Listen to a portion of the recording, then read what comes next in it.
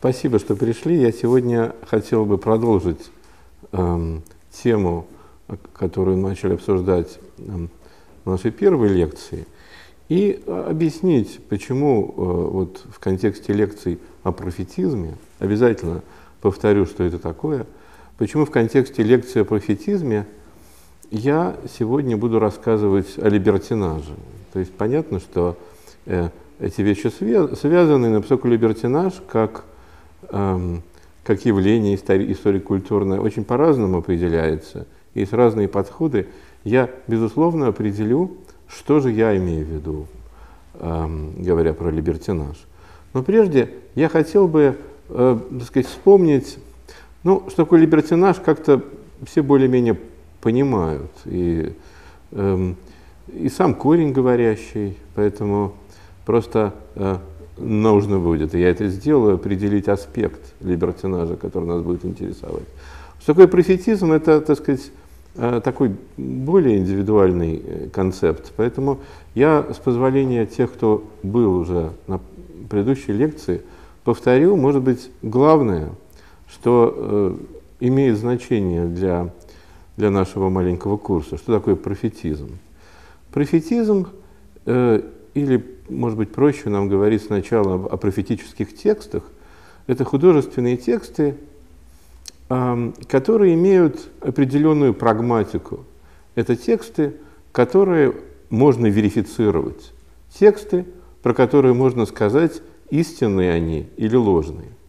Мы знаем, что к числу эстетических категорий э, верифицируемость текстов не относится. Что, что вообще говоря, для художественных текстов – это не характерна верифицируемость. Но вот в отношении э, текстов, которые, так сказать, претендуют на профетизм, которые оцениваются современниками как э, профетические, для них категория истинности имеет значение. Понятно, что истинность всегда релятивна, и, так сказать, э, статус профетического текст получает в определенных сообществах. Да? То есть понятно, что текст, который осмысляется как профетический, как истинный, эм, в одних контекстах таков, а в других или в другие эпохи совсем даже другой. Я также говорил на, вот на прошлой лекции, что ориентация э, текста на священное писание – это не обязательный признак профетического текста. Это, конечно, важный признак – я даже не назову его факультативный, но все-таки статус этого признака сложный, амбивалентный. В качестве примера я привел знаменитый текст переложения 80-го псалма э, властителям и судьям э, Державина, который, несмотря на то, что автор хотел сделать его профетическим, такого статуса среди современников не получил. И я попытался объяснить вам вот эту неудачу Державина тем, что э, профетическому тексту не соответствовало поведение, публичное поведение автора. И э, вот тут мы э, перешли к другой категории, важной, связанной с категорией профетический текст, с категорией профетическое поведение. Поведение, как и полагается, для пророка, для профетического текста является залогом его истинности. Не всякий текст, ориентированный на написание, э, воспринимаются современниками, ну или в определенном сообществе как профетический, если поведение автора не соответствует тому, как условно говоря, должен вести пророк. И вот э, я привел пример другого текста, который получил статус профетического э, у современников не за счет каких-то высоких художественных качеств, хотя это бесспорно очень, это, это очень спорно, но все-таки современники не оценивали э, путешествие из Петербурга в Москву Радищева как великое произведение. Как определил Вяземский, здесь писатель э, на голову ниже человека.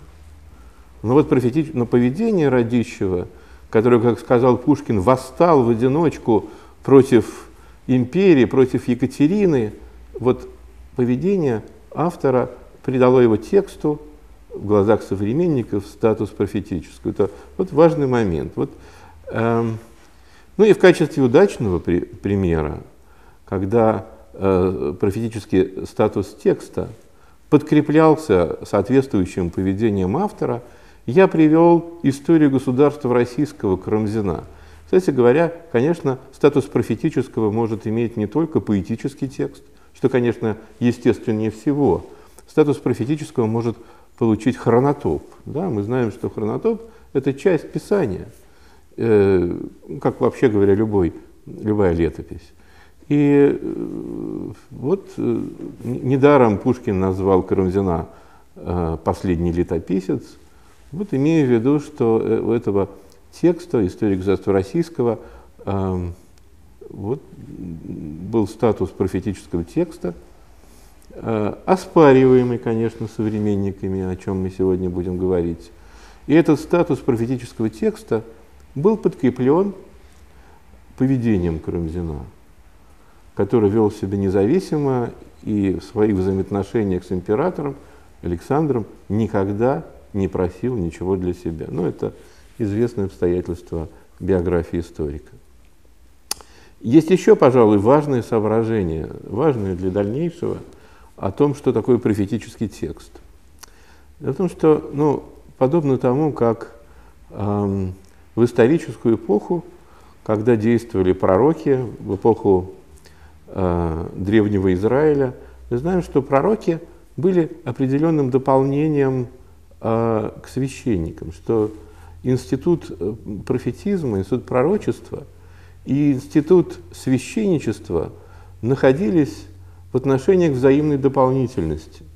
И что пророки, ну, так называемые большие пророки, конечно, пророки в Священном Писании употребляются, начиная с самой Эм, с самой первой книги, пророки, эм, но, так сказать, эм,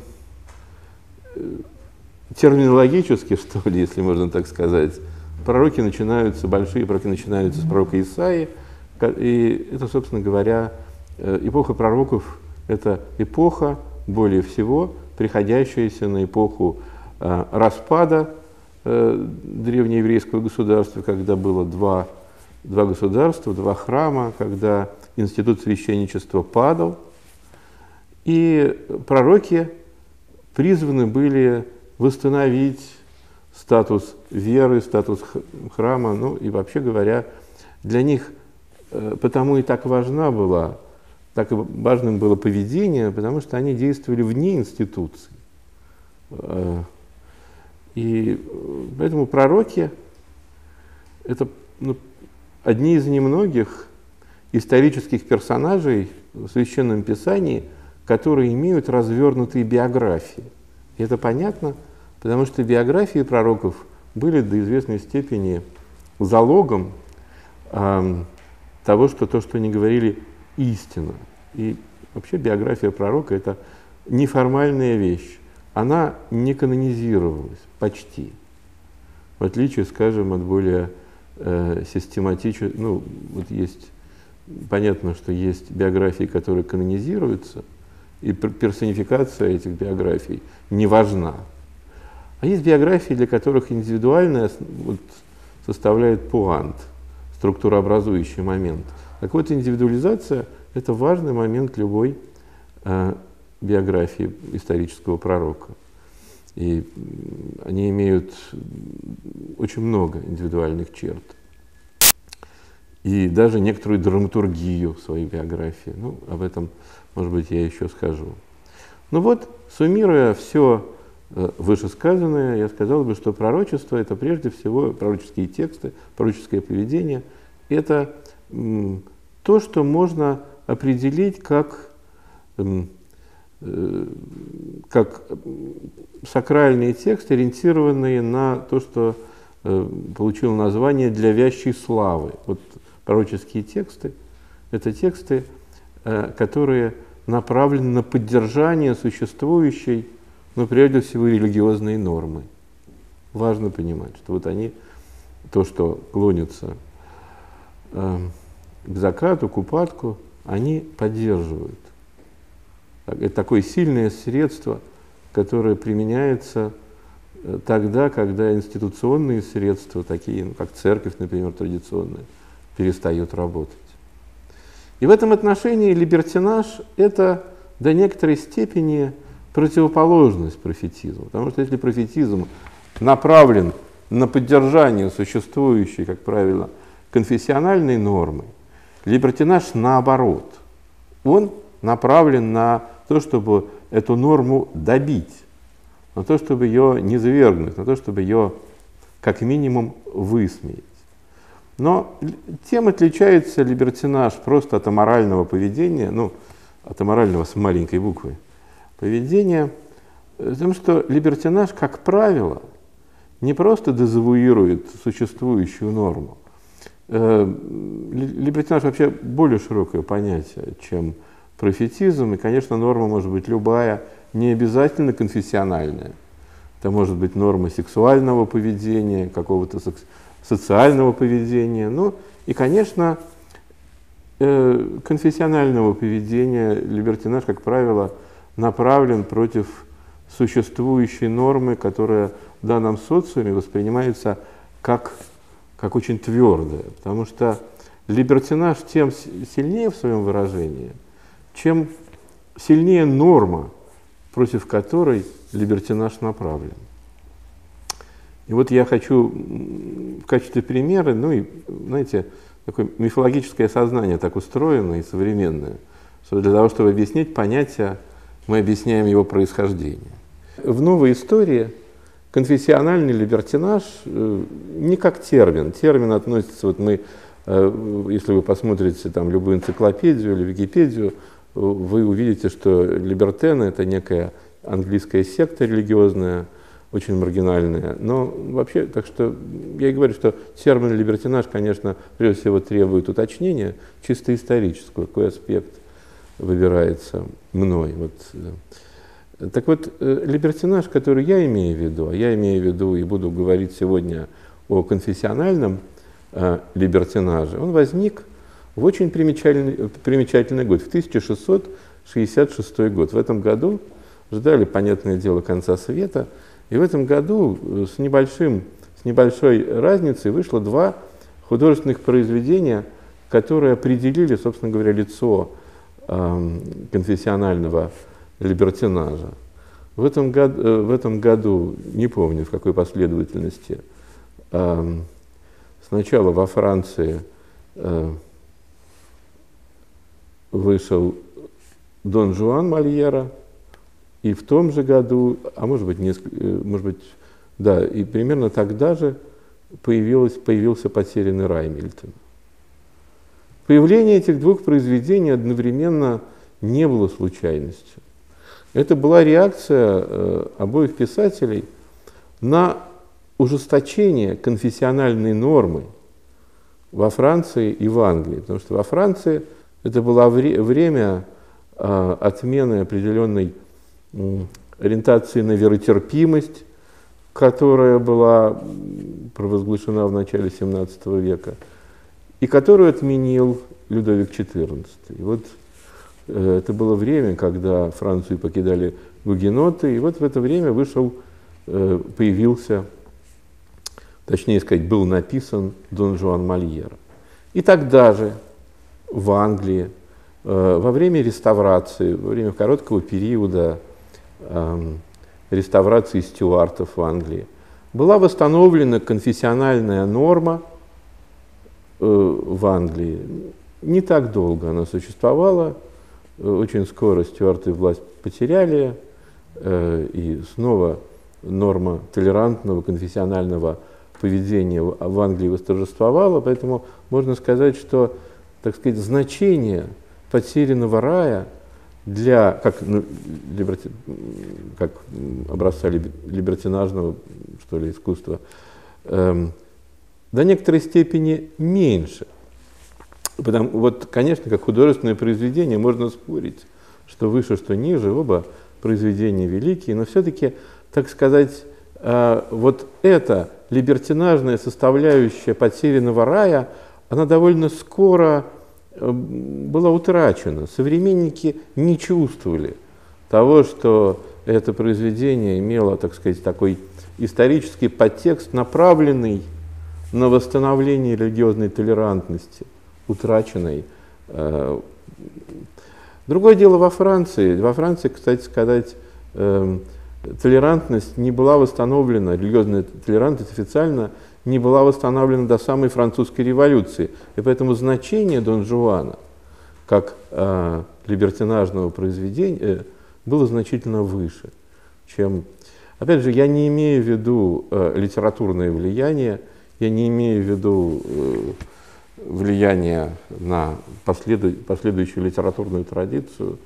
Э, это очень спорно, и я не об этом сегодня говорю. Но все-таки я хотел бы привести, э, хотел бы, чтобы вы запомнили этот пример, для того, чтобы, чтобы вам было понятно, что либертинаж и норма друг от друга неотделимы. И чем строже конфессиональная норма в обществе, тем, эм, тем более, что ли, явно, более жестко, более агрессивно, можно сказать, она дезавуируется, и тем больше либертенных произведений, либертинажных точнее, оно продуцирует. В России в XVIII веке, э, можно сказать, было много и мало э, либер... такого рода произведений. Дело в том, что после Петровских реформ в конфессиональной сфере э, православная церковь потеряла, конечно, свое значение.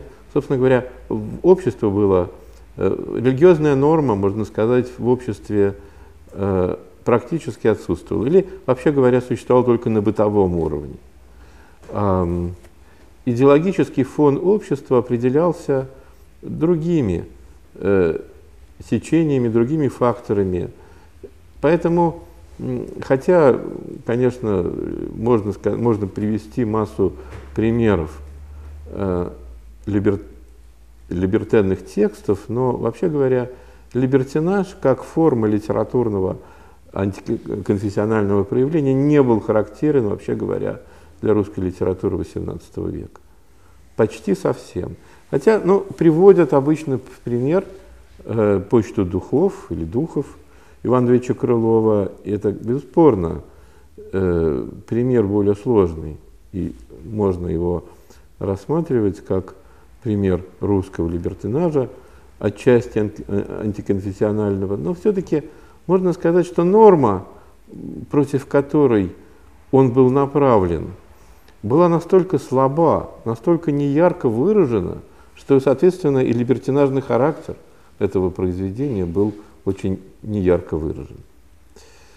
И э, можно сказать, что вообще либертинаж э, в русской культуре не то чтобы очень такое распространенное явление, в силу того, что конфессиональная норма в русском обществе была всегда более-менее слаба, ну, не считая, может быть, определенной эпохи.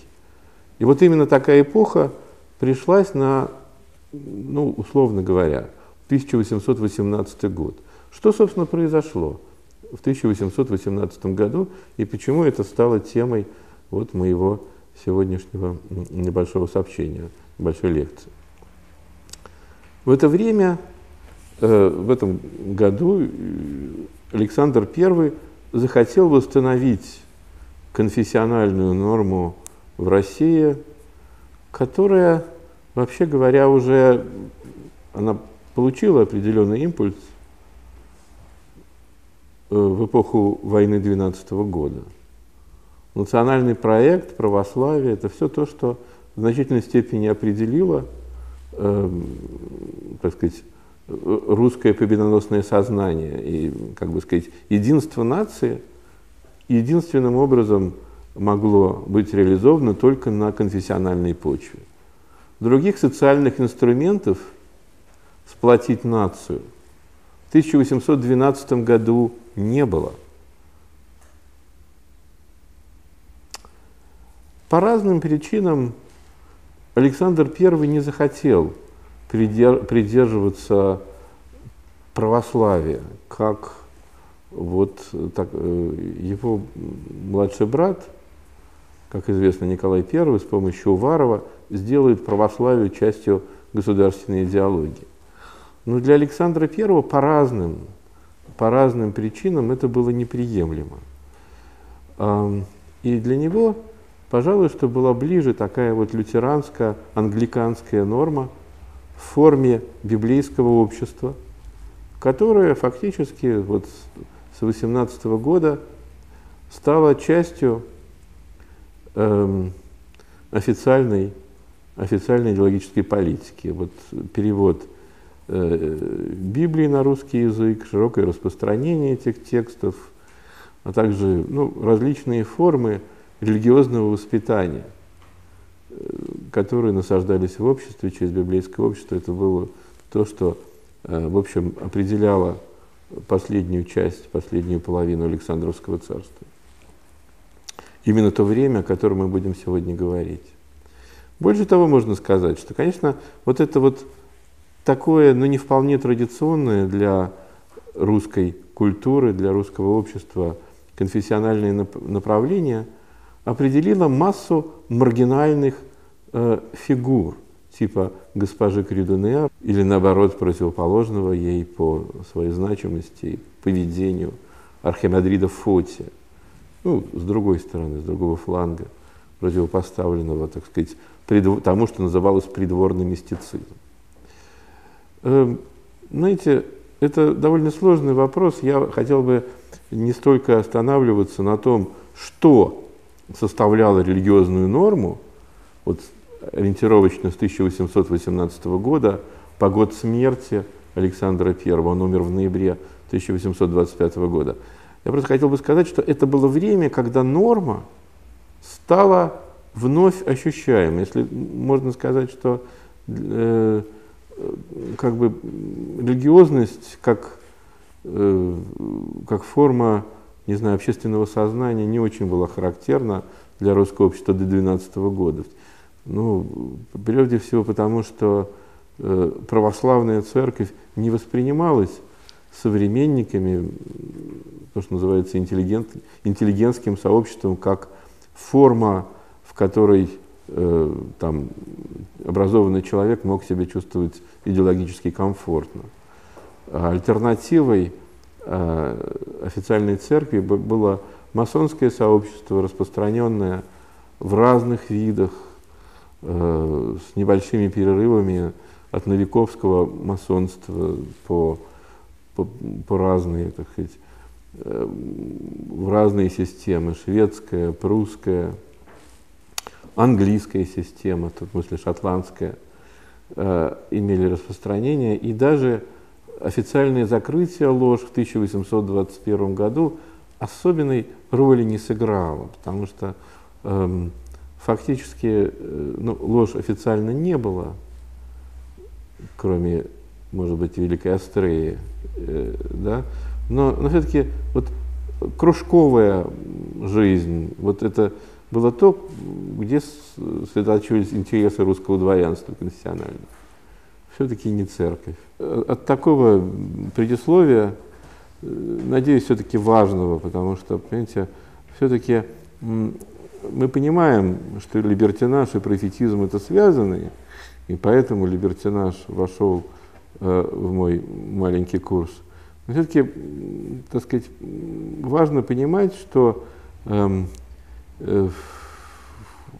что это не просто связано, это в некотором смысле одно и то же. В некотором смысле одно и то же. Профетизм направлен на восстановление нормы, либертинаж на, на то, то, чтобы бороться с некоторой нормой, но либертинаж потому и либертинаж, что он всегда вместо одной нормы предлагает другую норму. Вот, я, вот этим либерти, либертинаж отличается просто от аморализма, которое э, просто дезавуирует существующую норму и все. Итак, мы начинаем с 18 года, мы начинаем с некоторой детективной истории, э, которая на самом-то деле детективна в том смысле, что она не имеет решения. В биографии Пушкина есть некоторая проблема, которая не решена, и которую не то, что мы сейчас решим, ну, попытаемся, по крайней мере, обсудить. А, на протяжении на самом деле с глубокого детства э, Пушкин был связан с Карамзиным. Есть семейная легенда, что Карамзин слушал чуть ли не первые стихотворные опыты Пушкина. И там, ну, в общем, э, ну, это может быть легенда, но точно известно, что с 1816 года, с того времени, когда э, Карамзин поселился в царском селе, неподалеку от лицея, Пушкин и Карамзин действительно стали дружны. Э, Пушкин ходил в дом Карамзину, э, и, и, видимо, Карамзин был для него тем наставником, которого Пушкин не нашел э, в числе своих лицейских преподавателей, тем более не нашел в своей семье. И вот в, 1800, да, в 1818 году, в январе, вышла история государства российского. Эм, Пушкин внимательно ее прочитал, как он позже писал в воспоминаниях. И принял э, некоторое посильное участие в литературной полемике, которая возникла по поводу истории, потому что не все, конечно, приняли это произведение. Э, была резкая критика, которая была воплощена в том числе в статьях историка, профессора Московского университета Кочановского. Э, и вот в Васфхендауте первым номером известная эпиграмма Пушкина на Кочановского. Наш тацит, на, на, наш тацит на тебя да хочет ли взглянуть, уймись, и прежним ты стихом доволен будь, плюгавый выпол, выползок из гузна де Фонтена. Это последняя строчка, хорошо бы ее, например, как-нибудь выделить, нужна цитата, она цитата из э, Ивана Ивановича Дмитриева. Де Фонтен здесь не просто так упомянут, это критик Вольтера. Вот Кочиновский э, сравнивается с Де Фонтеном, и, в общем, есть в, этом, в этой эпиграмме некоторое подспудное сравнение Карамзина с Вольтером, что несколько, так сказать, входит в определенные противоречия с сравнением Карамзина с Тацитом. Тацит, вообще говоря, это форма самохарактеристики эм, Карамзина. Карамзин себя явно отождествлял с Тацитом, и, собственно говоря, известнейшее стихотворение Карамзина, которое определило во многом э, мировоззрение молодого Пушкина, и тогда, и позже, это стихотворение Карамзина «Тацит», написанное в годы Павловского царствования. Тацит велик, но Рим, описанный Тацитом, достоин ли пера его? В всем Риме некогда геройством знаменитым, кроме убийц и жертв, не вижу никого. Жалеть об нем не должно, он стоил лютых бед злодейства своего, терпя и то, чего терпеть без подлости не можно. Вот эти стихи, они, собственно говоря, стали жизненным кредом Карамзина, который никогда в самые суровые эпохи э, не терпел того, чего нельзя было терпеть без подлости. И он был, по всей видимости, единственным русским писателем, отозвавшимся на арест Радищева одой к милости. О, о разном амбивалентном поведении в этот момент Державина я на прошлой лекции рассказал, не только Державина. И вот это соположение Вольтера и Тацита на самом-то деле представляло из себя до известной степени оксюморонное сочетание. Потому что если Тацит – это гроза царей, то Вольтер, э, как э, был известен совсем другими качествами, своим, э, своей перепиской с Екатериной, дружбой с Фридрихом Великим, ну, в общем, ласкательством. Его, конечно, современники обвиняли в сервилизме. И в этом стихотворении Пушкина за внешней, так сказать, апологией Карамзина уже проглядываются некоторые движения от Карамзина, которая закончилась разрывом, которая закончилась тем, что Пушкин из друзей Карамзина, из тех, кто поддерживал историю, перешел в стан так сказать, его непримиримых критиков. И, по всей видимости, именно Пушкину это, вообще говоря, не очень, э, это не вполне доказано, но, скорее всего, это так. Имеются три эпиграммы, так или иначе приписываемые Пушкину. Вот эта, которую я привожу, пожалуй, скорее всего, принадлежит Пушкину. Его истории, изящность, простота доказывают нам без всякого пристрастия необходимость самовластия и прелести кнута.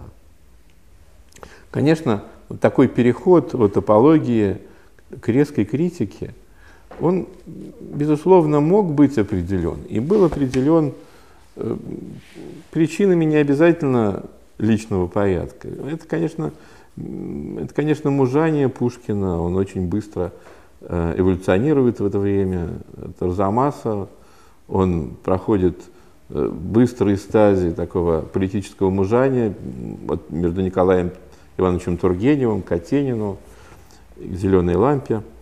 Но совершенно очевидно, что все-таки, поскольку эти два произведения, эпиграмму и, и на Кочановского и эпиграмму на Карамзина – отличает, может быть, не, э, несколько месяцев, по всей видимости, было какое-то событие или, или нечто, что поссорило близких друзей. Э, потому что нам известно, что с ноября 18 года Пушкин перестает ходить в дом Карамзина, э, и они никогда не видятся больше. Существует романтическая, очень красивая версия, принадлежащая Юрию Николаевичу Тынянову, о том, что причиной ссоры Пушкина и Карамзина была утаенная, ну не такой степени, чтобы Юрий Николаевич Тынянов об этом не знал, утаенная э, любовь э, Пушкина к Екатерине Андреевне Карамзиной, жене э, Карамзина, э, сводной сестре его друга Петра Андреевича Вяземского, что вот э, Пушкин был влюблен в Екатерину Андреевну, написал ей письмо, стал добиваться свидания. Ну, в общем, рассказал ей о своих чувствах, об этом узнал. Она показала письмо мужу, было объяснение, и после, после этого это привело к ссоре. Надо сказать, что хотя это вполне возможное обстоятельство, потому что Пушкин был влюблен во многих женщин, многим писал любовные письма, это вряд ли могло стать причиной такой серьезной ссоры, потому что вот тогда, в 18 году, они расстались навсегда, никогда не виделись, и даже в 20 году, когда Пушкина высылали из Петербурга, а, он не зашел к Карамзиным проститься. Ну и так далее. Там еще была ситуация сугубившая его, отрица... его Пушкина отношение к Карамзину, потому что Пушкин винил Карамзина в том, что э, его Пушкина не вернули в 21 году из, э, из Кишиневской ссылки в Петербург, как ему казалось, Киш... Карамзин должен был быть гарантом его возвращения. Вот э, этого события, на мой взгляд, недостаточно. Не только, на мой взгляд, недостаточно для того, чтобы, э, для того, чтобы ссора между Карамзиным и Пушкиным была бы такой глубокой и так, так сказать, иде, так многим идеологически наполнена. И сам Пушкин, надо сказать, вспоминал с большой горечью в письме к Вяземскому в 26 году, оправдываясь в эпиграммах, которые, может быть, он писал или не писал, он говорил, что э, Карамзин его оттолкнул от себя и чем-то глубоко обидел. Я привожу, я привожу отрывок из автобиографических записок Пушкина, где Пушкин дает как бы официальную версию того, что послужило причиной их ссоры. И в этой э, версии, которая, как всякая версия, всегда содержит долю правды – даже когда правду пытаются скрыть, всегда она каким-то образом все-таки существует. И вот видно, что Пушкин оспаривает точку зрения Карамзина, да, и говорит, что они примирились, но эпиграмма и тот упрек, который Пушкин предъявляет Карамзину, да, вы рабство и так вы рабство предпочитаете свободе, это, в общем-то, об одном и том же. Совершенно очевидно, что Карамзин на эпиграмму обиделся. А то, что она была ему известна, скорее всего, потому что эпиграмма очень широко ходила в обществе, была известна, была известна во множестве списков, и ее, как и многие другие эпиграммы, которые Пушкин реально не писал, переписывали Пушкину. Карамзин, скорее всего, именно Пушкина винил. И все-таки и этого недостаточно для той, вообще говоря, резкости, а, с которой э, Пушкин и Карамзин говорили друг, друг, друг о друге. Э, эта резкость, конечно, не мешала, например, Карамзину заступиться за Пушкина в 20 году. И, например, то, что Пушкина вернули в 26 году из Михайловской ссылки, современники приписывали Карамзину, что, может быть, и не было на самом деле так. Что же все-таки произошло? Мне кажется, что то, что произошло, вообще говоря, подлежит реконструкции, потому что мы знаем э, из разных источников, не только из, от Карамзина, о том, что поведение Пушкина вот в эти самые годы, когда, э, когда ссора его с Карамзиным, в частности, нашла выражение в этих эпиграммах, это его поведение вызывало э, негодование, возмущение, множество людей, из которых прежде всего стоит говорить о декабристах, о тех, кто изначально составляли дружеский круг Пушкина. Я имею в виду круг Николая Ивановича Тургенева, известного декабриста, члена Союза спасения и благоденствия, э, Ивана Ивановича Пущина, лицейского друга Пушкина, который э, тоже к этому времени уже был членом Союза благоденствия и так далее. Вот э, современники вспоминают, что с 1818 года поведение Пушкина стало вызывающее, что он стал вести себя э, таким образом, что потрясал не только там правительственные круги, но декабристов с их установкой на строгую, на строгую мораль. В чем же ну, проявлялось это поведения? Ну, прежде всего, в различных проявлениях, в различных случаях такого, я бы сказал, почти ритуального кощунства, которое он себя позволял в обществе своих друзей по оргиастическому э, кружку, получивший название «Зеленая лампа».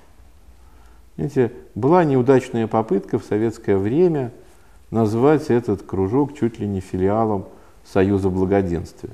Сейчас мы, ну, совершенно сохранился архив, и мы, в общем, имеем довольно ясное понимание того, что это было аргиастическое общество, которое было не чуждо, конечно, э, литературных интересов. Э, в его числе были многие литераторы, такие как Улыбышев, Яков Толстой. Да и практически все члены этого общества. Да, захаживали Дельвик, там бывал поэт Федор Николаевич Глинка, но, правда сказать, не на аргиастических заседаниях, которые имели характер таких, ну, просто настоящих оргий.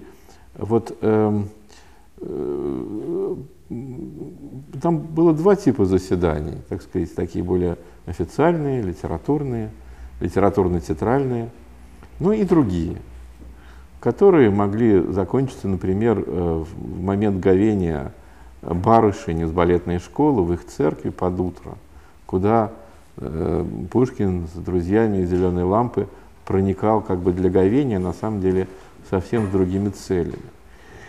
Это поведение имело характер ну, совершенно открытый. И, конечно, вот это и есть та форма либертинажа, э, которая стала основой пушкинского публичного поведения с 1818 года, которая поссорила его с Карамзиным, которая оттолкнула от него декабристов с их установками на строгую мораль, и которая нашла отражение в разных произведениях Пушкина вот этого периода. Э, период этот довольно точно можно датировать 18-23 декабрем 23 года. И основа этого поведения было неприятие Пушкиным той, как он считал, э, ханжеской, насильственно насаждаемой двором конфессиональной нормы. Вот это вот, так сказать, конфессиональная разнузданность, которая больше всего, пожалуй, отразилась в стихотворении, в стихотворном послании Пушкина э, декабристу Давыдову, написанное уже позже в Кишиневе в 21 году. Вот, может быть, вы увидите это, это на второй странице внизу. Интересное стихотворение, не очень известное, но все-таки эм, здесь важно, просто вот здесь видно, что кощунство становится таким структурообразующим принципом, принципом, на котором построено стихотворение. Если в других стихотворениях э, этого и предшествующего периода мотивы, так сказать, ритуального кощунства только присутствуют или, может быть, намечены, то здесь, в послании Давыдову, здесь это выражено полнее всего.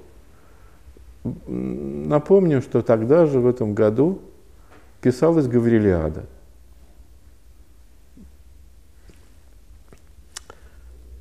Что это вообще означало для Пушкина? Вообще, конечно, это не то, чтобы такой особенно ординарный для русского поэта тип поведения, кощунственный, либертинажный.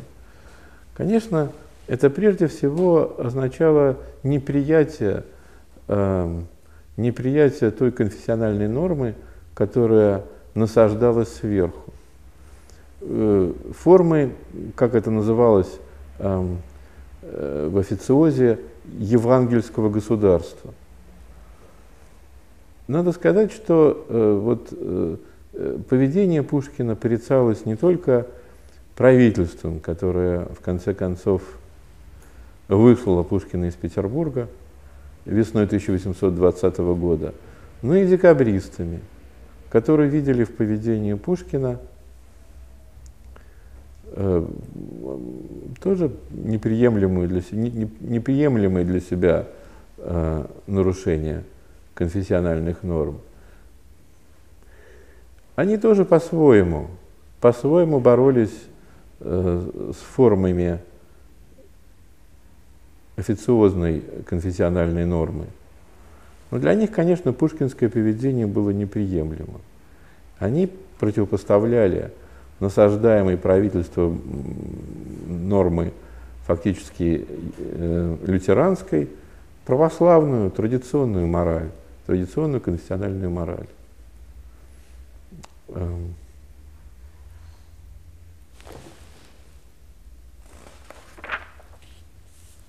Среди близких друзей Пушкина этого времени одним из самых ярких, пожалуй, был граф Федор Толстой получивший в обществе прозвание «американец». Персонаж, о котором, э, помните, вспоминал Грибоед, вообще это, конечно, одна из самых ярких, ярких фигур, один из самых таких ярких образцов либертинажного поведения, в том числе и в конфессиональном отношении. Эм, он, период конца XIX года, это период их близкого знакомства – Э, которым Толстой воспользовался в ущерб Пушкину, распустив слух о том, что за свое поведение Пушкин был привезен в полицию и высечен. Конечно, это было невозможно по отношению к дворянину, это было, это, это, тем не менее, несмотря на всю невозможность этого слуха, общество поверило – поверила, и Пушкин, узнав об этом слухе позже всех, как обычно бывает, по всей видимости, э, ему рассказал об этом ужасном слухе Петр Яковлевич Чадаев, столкнулся перед необходимостью, необходимостью восстановить свою честь и репутацию. Как всегда, когда, ну, в общем, пытаешься что, о чем-то говорить, так сказать, исторически, да, в, каком-то, э, в, в какой-то диахронии, всегда не так много времени и, и места уделяешь содержанию.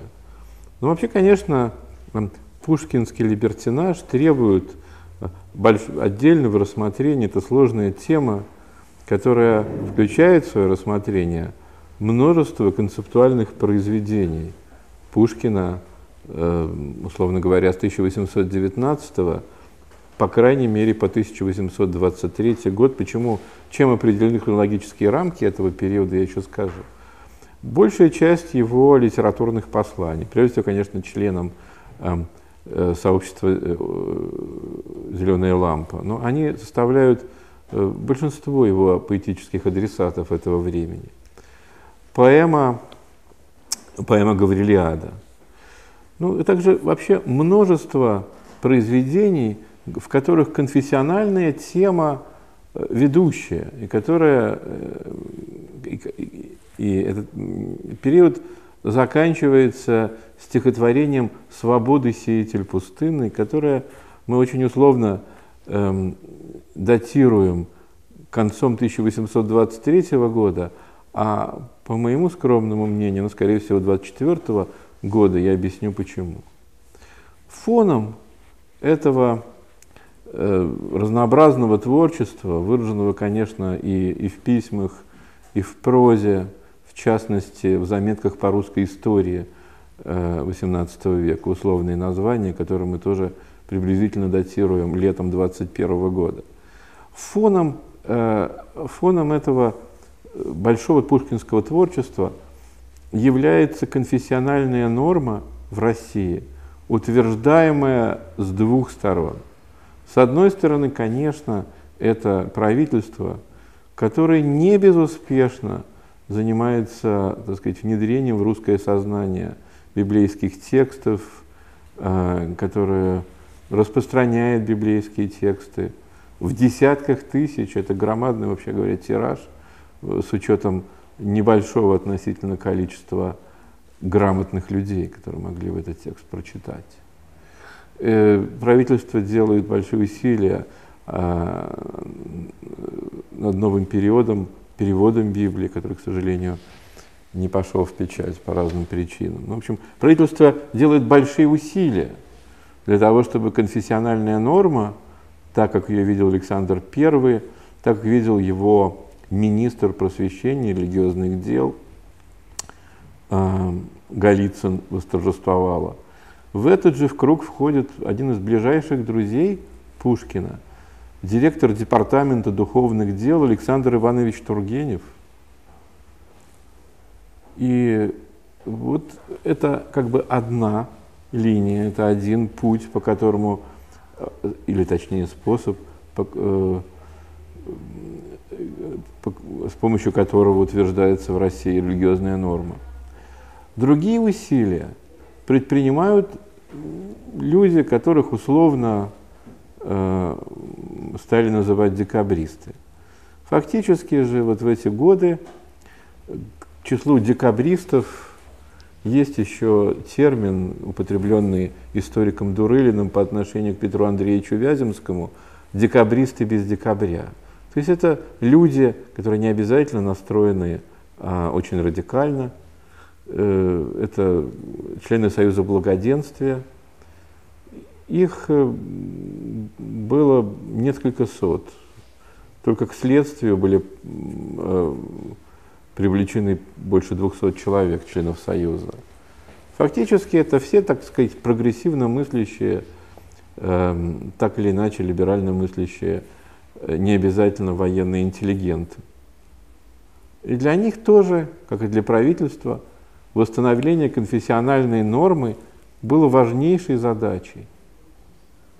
Но, в отличие от правительства, которое по разным причинам, в силу такого, так сказать, универсалистского сознания Александра I, э, для правительства вот лютеранская норма, так сказать, англиканская почти была важна.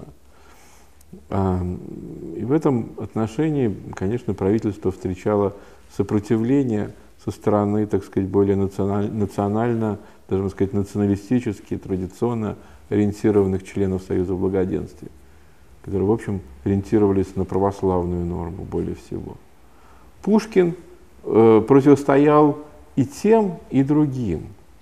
И, так сказать, порицался и теми, и другими. Его позиция была ярко индивидуальна, так сказать, она была индивидуальна не только творчески, но и идеологически. Это любопытно, потому что, вообще говоря, не так уж много примеров публичного поведения русского писателя, которое бы означено было такой, ну что ли, яркой индивидуальностью. Вот, э, знаете, это фактически в, это, вот в этом отношении. Э, у Пушкина не было круга, кроме вот зеленой лампы.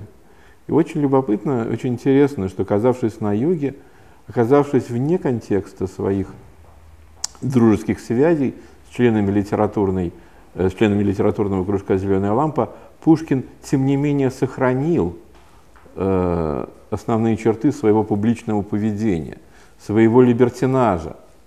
И в качестве примера я, я могу вас вот отослать стихотворению Давыдову и к очень многому, к очень многому тому, что составляло, э, так сказать, э, пушкинский образ в это время в глазах современников. Пушкинское поведение было вызывающее не только по отношению к правительству, ну, если под правительством можно считать добрейшего генерала Инзова, который относился к Пушкину как к сыну. Он был наместником в, в, в, в Кишиневе. Э, ну, вот скажем, э, человек, которому посвящено это стихотворение, послание Давыдову. Конечно, про него известно, как об этом писали позднейшие мемуаристы, что он оттолкнул а, от себя Пушкина. А об этом писал другой декабрист, который был в тесных, ну, который видел Пушкина э, на юге в это время, Басаргин. А, так сказать, э, до, до некотором противостоянии Пушкина и Михаила Федоровича Орлова, который был главой кишиневских декабристов – мы тоже хорошо знаем. Ну, мы знаем, что пушкинское положение было уникально. Мы также знаем, что его политическая лирика этого времени, которая, ну, как мы знаем, нам об этом говорили со, со школьной скамьи, была, как бы сказать, основой его протестного творчества, на самом деле составляла небольшую часть его э, протеста, который, вообще говоря, имел в своей основе, который был антиконфессиональным прежде всего. Э, объяснять это очень сложно.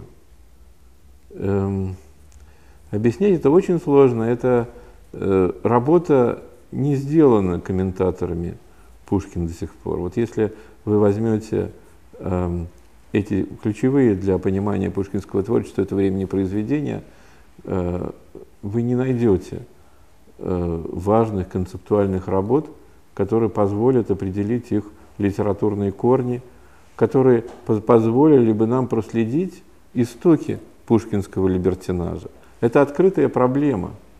И, может быть, вот вам ее решать, если вот у вас, я знаю, что ваша кафедра славится своим э, с интересом пушкинистики, у вас на кафедре все-таки такие глубокие традиции, определенные личностью э, Макогоненко, так понимаю, до некоторой степени, и так далее, и другими. Но, во всяком случае, это одна из проблем, которая еще требует решения, потому что без нее невозможно определить статус Пушкина э, литературный, поведенческий, социальный, Э, вот до, по крайней мере, 1825 года. Собственно, можно сказать, до конца Александровского царствования. Для того, чтобы вы поняли всю остроту этой проблемы, давайте обратимся к самой последней цитате, которая, вообще говоря, э, представляет из себя некоторую редкость, которую редко воспроизводят. Это цитата из переписки двух декабристов – это цитата, принадлежащая, оценивающая Пушкина, принадлежащая Ивану Ивановичу Горбачевскому, известному декабристу, члену Общества Соединенных Славян. Э, э, это, это, этот отзыв о Пушкине, который содержался в письме Ивановича Горбачевского э, Михаилу Александровичу Бестужеву. Это позднее замечание, сделанное уже в Сибири. Эм, Горбачевский делится своими впечатлениями после прочтения записок о Пушкине их третьего друга, тоже декабриста, Ивана Ивановича Пущина, который, как вы, конечно, хорошо знаете, был лицейским другом Пушкина. И вот э, в, в этом отзыве, который сам по себе очень интересен, я привел из него только небольшую цитату, Горбачевский пишет, «Бедный Пушкин, он того не знает, что нам от Верховной Думы было даже запрещено знакомиться с поэтом Александром Сергеевичем Пушкиным, когда он жил на юге. И почему было прямо сказано, что он по своему характеру и малодушию, по своей развратной жизни сделает донос тотчас правительству о существовании тайного общества. Мне рассказывали Муравьев, Апостол и Бестужев Рюмин про Пушкина такие проделки, что и теперь уши краснеют. Я э, нарочно заканчиваю, я вообще хотел бы скоро закончить свою лекцию, вот этой проблемной, абсолютно клеветнической, не выдерживающей никакой исторической критики цитатой из Горбачевского, чтобы показать, кстати, цитаты, относящихся э, к эпохе 50-х годов, к эпохе, когда ну, совсем было близко, я не знаю, до Базаровского – и писаревского отношения к Пушкину. Собственно говоря, корни этого отношения к Пушкину вот они где. Вот они где. В развратном поведении Пушкина. Потому что действительно пушкинское поведение, вот так, как он вел себя на юге, э, в Петербурге, э, на юге и в Петербурге и так далее, оно стало основой, так сказать, расхожих, популярных, народных биографий о Пушкине. Пушкин э, был не знаю, персонажем, персонажем анекдотов, различных малоправдоподобных историй, каламбурных и так далее, и так далее. И, э, конечно, э, культурная роль Пушкина, как определилась вот именно этой, этой частью его публичного поведения – э, либертинажной и эпатажной в значительно большей степени, чем, э, чем то, как он вел себя во второй половине жизни, которой я хотел бы рассказать в своей завершающей лекции. Э, вот Горбачевский – это, безусловно, некий крайний полюс, некоторая ну, чрезмерная даже для, так сказать, революционно-демократического восприятия Пушкина э, мнение, но все-таки оно характерное. В основе его лежит публичное поведение Пушкина эпохи его либертинажа. Его важно изучать, важно понимать его идеологическую основу, для того, чтобы ну, как бы с этим, с этим образом бороться, с таким восприятием бороться. Если говорить исторически, то, пожалуй, перелом Э, в отношении к Пушкину произошел много лет спустя после его смерти, много лет после того, как было опубликовано это мнение, или почти тогда, когда было опубликовано мнение Горбачевского. Переломным в отношении к Пушкину стало открытие памятника в Москве. Это 1880 год. Собственно говоря, значимость этого события, открытия памятника в Москве, и, собственно, и состояла в том, что он не только лишил Пушкина того, так сказать, э, ореола официозного поэта, певца империи и так далее. Он решил Пушкина вот той, так сказать, анекдотической составляющей. Потому что Пушкин, там, не знаю, в, в биографии Аненкова, например, Пушкин в Александровскую эпоху, которая вышла в 1876 году, по-моему, он вот такой почти анекдотический персонаж. Эпатажный человек, футурист до некоторой степени. А и вот должна была пройти эпоха, должен был Достоевский выступить со своей, со своей речью, для того, чтобы в отношении к Пушкину в русском обществе произошли перемены.